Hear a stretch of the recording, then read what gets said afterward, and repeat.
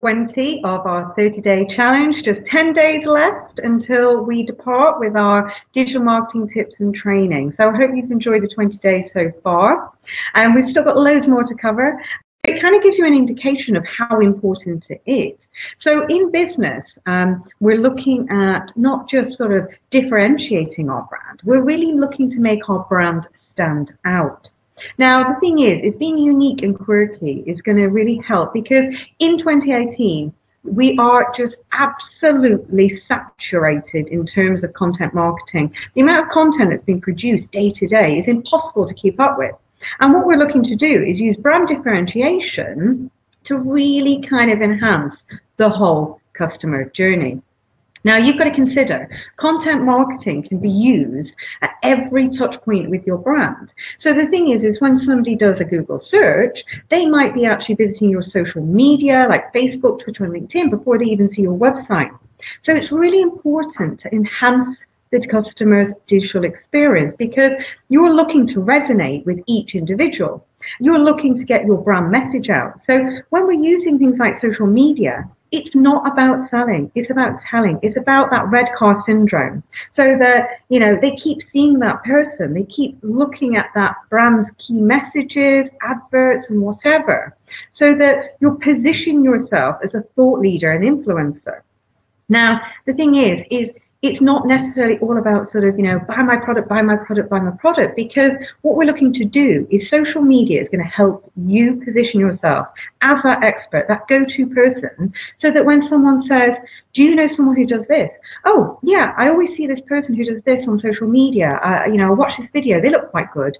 You're looking to be recommended. And this is the whole thing. Digital marketing and getting your key sort of message across through driving digital experience. Now, I'm going to give you some key tips to enhance the customer digital experience. The company must know and respect its customers. That's number one. And know what they want um, before they ask. So the thing is, is what you're trying to do is position your content to drive that digital experience, not just here's our product, here's our service, here's our brand, but when it really will help nurture that person through to maybe being a profitable customer of yours is when you're positioning content based on what they're searching for. What is their pain? What is the problem? What is the advice they're searching for? And the company must speak in one voice across all of its sales, marketing, support, and all the functions in the business. That brand message needs to be consistent on every digital channel you're using. Now, technology should be transparent to the customer. Don't make it about the technology, make it about the experience. You know, the medium is not the message, the experience is the message. So it's not about being on social media, it's about them consuming the content and interacting. Now, one thing we know in terms of engagement is when you have a website that has interactive tools that is fact finding, but the customer who visits feels that they're being matched with a solution. So think about it. If you land on a website and we have things like a digital diagnostic, it means that our users can go and test their digital skills and knowledge against their peers and see where they sit. It's also going to identify any gaps in terms of their knowledge where they need to upskill. Um, they're also going to see if there's anything that maybe that they're not as up to date versus other areas. But also it's going to help them see what they're good at. Now, in terms for us as the business, it means that we can identify where the gaps are, how to help the business, and how to position our content. So if somebody did a digital diagnostic quiz and they found out that they had a huge gap on SEO, we could then send them some really useful blogs, articles, information to help them learn more. So it's all about tell, not sell. Now, the company must delight its customers every turn so that customer expectations of that brand are consistently and constantly elevated. So it's the difference of not posting a piece of text, but doing something like a video, adding value, getting your brand out there. People think that by giving information away, they're giving away the whole product and service. They're not. They're actually giving a snapshot, the best way of marketing the business by presenting, adding value, and a, a snapshot of what they can present if they engage with you as a paying customer. So don't just merge into the background. Be different, be memorable, and establish an online presence that is visual to create strong brand recognition and establish a key figurehead as a thought leader and an influencer in your market. That's the difference in terms of digital experience. We engage visually. So if you want brand recognition, there was a latest study that Facebook actually commissioned, and they found out that even just watching three seconds of a video is going to establish brand recognition. And the thing is, is if you've got people who are going to be the forefront of your brand, and you're presenting those people day to day, people recognize faces, people recognize voices. So try and think about positioning your brand. And thank you very much. There's someone here who's just said, I did not know about um, the diagnostic.